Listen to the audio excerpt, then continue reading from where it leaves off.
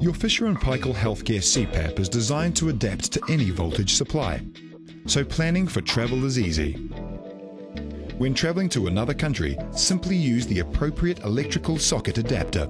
Before traveling with your CPAP, ensure the water chamber is empty. CPAP devices may be impacted by changes in altitude. If you travel to an area that is at a different altitude from your home, the CPAP needs to adjust to deliver your prescribed pressure. Some models adjust to altitude automatically, other models require manual adjustment. To manually change your altitude setting, hold down the mode button for 3 seconds. Press the mode button again.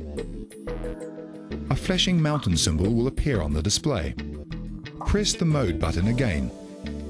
Set the altitude level by pressing the up or down arrows, rounding to the nearest setting. Finally, press the mode button to exit this menu.